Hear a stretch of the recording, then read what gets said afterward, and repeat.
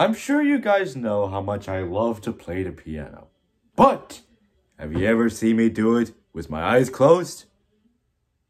This is the part where you're supposed to respond. You haven't? Well, you're about to. As you can see, I can't see anything. Oh, yeah.